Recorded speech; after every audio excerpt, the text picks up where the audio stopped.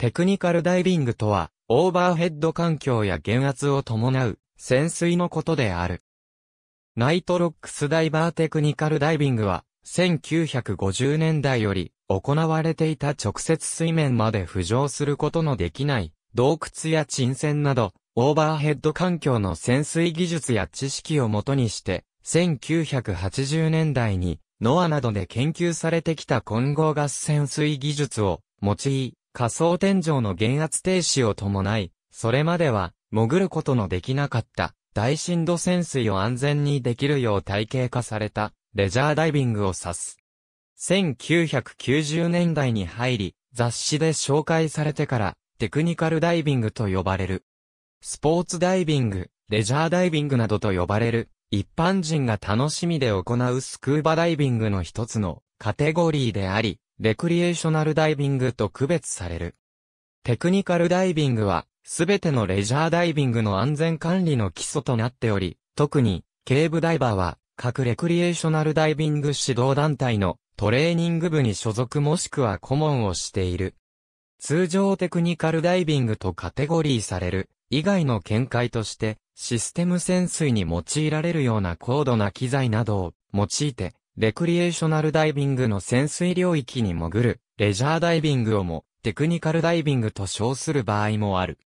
しかし、テクニカルダイビングのテクニカルは高度な、ダイビング機材のみを指す形容詞にされる場合もあるが、これらを使いこなすための技術を一般的に、テクニカルダイビングと称することはない。したがって、橋梁や油田など、水中工事で行う潜水や、自衛隊や海上保安庁などが行う潜水とは、理論などで共通するものがあるが別物である。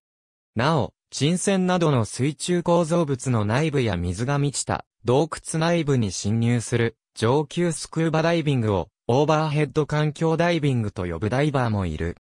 実施にあたっては、スモールステッププログラムが確立されており、シニア世代にテクニカルダイバーは多い。日本のダイビング業界は利益追求主義であり、少ない経験値でステップアップしたがる傾向のためか、レクリエーショナルを超えた知力、体力、技能が要求され、これらを身につけるために莫大な時間が必要と勘違いしているダイバーが多い。またナウイエンタープライズは海外本部で40年以上テクニカルダイビング部門、ナウイテックを開催しているにもかかわらず、国内、ナウイでは取り扱う能力のない会社もある。海外テクニカルダイバーは、精神の安定と体の柔軟を図るためヨーガを導入する人も多い。テクニカルダイビングの中でもケーブダイビングは、下記の年表を見ればわかる通り、レクリエーショナルダイビングより古くから行われている。いわば、レジャーダイビングの原型となった潜水探検を含む。ダイバーの所在位置から水面までの間に何らかの障害物があり、直接水面に浮上できない環境を言う。例えば沈没船などの水中構造物の内部や水が満ちた洞窟内部が該当する。オーバーヘッド環境に侵入する際にはその環境に適応するための知識、訓練や装備が必要である。例えば等はオーバーヘッド環境への潜水に際して最低限必要な事項であるが、インストラクターを含むレクリエーショナルダイバーがそれを知らずに、あるいは知りつつも、限界を超えて、オーバーヘッド環境でダイビングすることによる事故は絶えない。指導に移動する作業中ケーブダイビングは、光の届かない洞窟に潜ることであり、カバーン特別される。蒸気のオーバーヘッド環境ダイビングの一つである。主に、ダイバーは、泉や海中鍾乳洞に潜り、ケーバーは、洞窟内部にあるサンプや地底湖に潜る。装備は、2系統の呼吸源、リールとスプール、3つのライト、目印に使うラインアローやクッキーが最小限の機材になる。時には、タンクを脇の下に装備したり、ヘルメットを着用して潜る。詳しくは、洞窟潜水を参照。テクニカルダイビングにおける、レックダイビングは、沈没船など海底に沈んだ人工物の中に侵入することである。オーバーヘッド潜水において、アドバンスレックは、カバーンダイバーにあたる初心者コースである。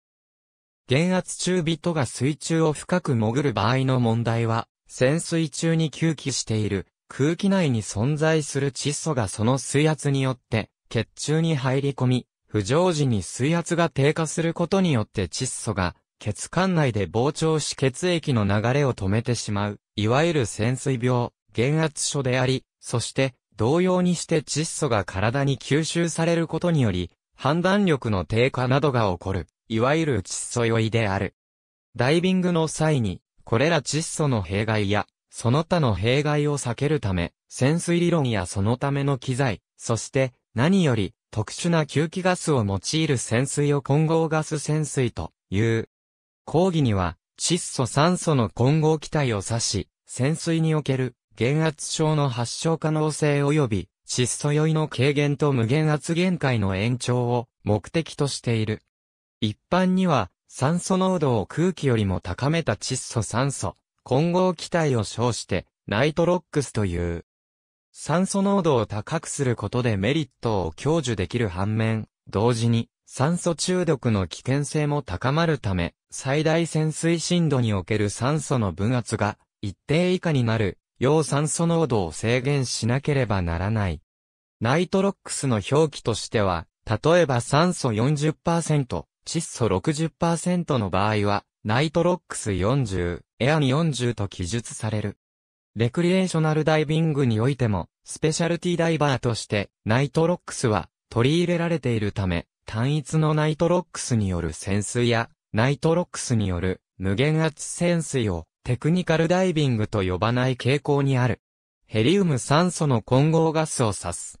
ヘリウムは窒素と比較してはるかに麻酔作用が小さく、空気のように窒素中毒を起こすことがない一方、等の欠点がある。通常、分圧 320kPa 以下であれば、呼吸ガスに窒素が含まれていても何ら問題はないため、一般にはこれら欠点の緩和を目的に、下記のトライミックスが用いられる場合が多い。ステージボトルを装備する、ダイバートリミックスとも言う。意味的には3種類の気体の混合ガスを、さすが、ダイビングにおいては通常は、ヘリウム窒素酸素の混合ガスを指す。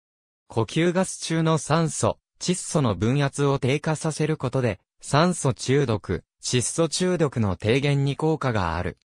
ダイビングにおいては一般に、酸素分率、XX%、ヘリウム分率 E% を用い、トライミックス XX、E のように組成を表記する。例えば酸素10%、ヘリウム50%、窒素40%の場合は、トライミックス10、50と表記される。空気では窒素中毒の問題が発生し、かつ蒸気のナイトロックスでは酸素中毒の問題が発生する。すなわち呼吸ガス圧 320kPa プラス 160kPa イコール 480kPa 以上での潜水に用いられる。なお、ヘリオックスやトライミックスは必然的に酸素を少なくした混合比としていることがほとんどであり、低深度での呼吸ガスとして用いた場合酸素欠乏症になる危険性が高いことから、低深度用として少なくとももう一種の呼吸ガスを用意する必要がある。目的の潜水を終了し浮上する際に、様々な混合ガスや純酸素を用いて、減圧を行う潜水を示す。多くの場合、ナイトロックスや純酸素を併用して、減圧を行う。インスピレーション改めテクニカルダイビングにおいて、装備する機材は、トラブル時の置き換えや、堅牢さなどの安全性とともに、効率性が考慮される。これらの機材に、ケーブ、レック、ディープなど、環境や目的に合わせて、機材コンフィギュレーションを変更して使用する。CCR リブリーザダイバー呼吸排気からに、酸化炭素を取り除き、酸素を補って再利用する循環式呼吸装置のことで、よくあるスクーバタンクの代わりになるもの。閉鎖式と常時一定量混合気体を供給し、余剰のガスは外部に放出する半閉鎖式がある。詳しくはダイビング機材を参照。ありがとうございます。